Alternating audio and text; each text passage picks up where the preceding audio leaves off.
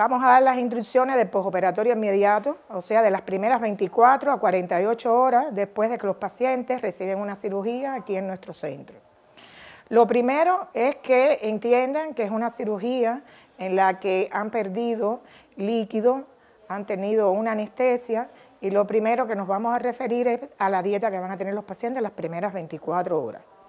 Según tolerancia, si el paciente no tiene náuseas, importante, no tiene eh, vómitos, lo importante es que el paciente trate de tomar suficiente líquido en estas primeras 24 a 48 horas. Los líquidos de calidad, o sea, líquidos que tengan un aporte importante de azúcar ya en su contenido. El Gatorade también es muy importante porque ofrece además electrolitos para ir tratando de reponer las pérdidas que tuvieron durante la cirugía. En caso de la liposucción, voy a empezar porque esta es una de las más frecuentes que hacen en nuestro centro. En la liposucción es una de las cirugías en la que más líquido se pierde. El paciente puede salir con bastante fatiga, con sensación de desmayo, sensación de que no tiene fuerza. Y la explicación de esto es porque pierden una cantidad importante de grasa. Y la grasa es la primera fuente de energía del organismo. Y por tanto la han perdido y la han perdido de una manera muy abrupta, muy brusca, en un tiempo muy corto y han perdido entonces una cantidad de energía importante y representa esto clínicamente el cuerpo con fatiga, decaimiento y como único se puede reponer es aportando bastante líquido. El paciente debe descansar, pero también debe caminar. El caminar y las medias, que son medias para evitar complicaciones circulatorias, las medias de compresión, evitan en las primeras horas, que es donde hay mayor susceptibilidad de que ocurra, la aparición de trombos o cualquier circulación eh, trastorno circulatorio.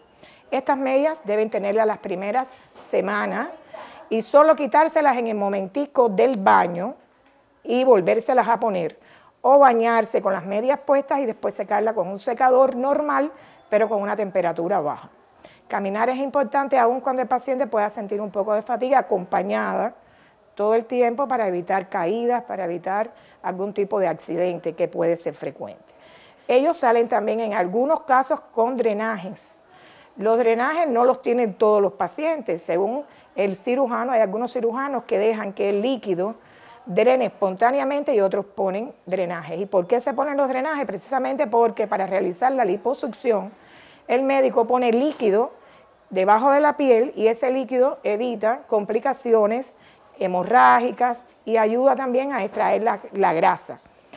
Y puede ser bastante abundante la cantidad de líquido que en las primeras 72 horas, sobre todo, el paciente va a drenar o las incisiones abiertas o por los drenajes.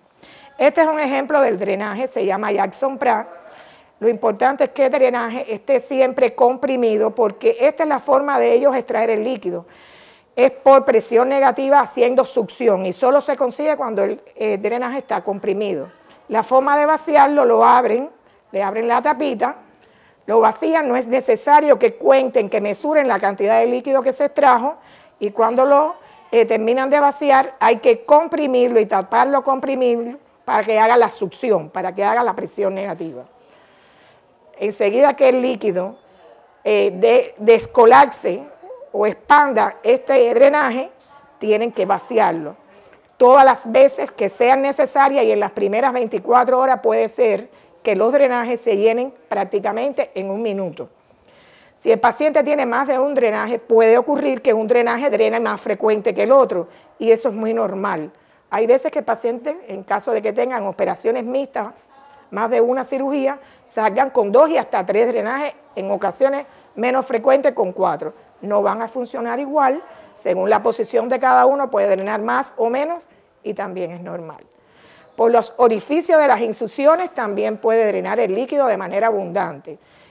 Puede ser que se mojen bastante, se mojen la faja, se mojen en binder, llegue el líquido al piso, llegue a las medias y en las primeras 24 horas no deben retirarse la faja ni las medias, solo secarse y poner en la cama donde van a descansar, en caso que puedan descansar en cama, un nylon para recoger el líquido y que no moje el colchón o el lugar donde estén sentados.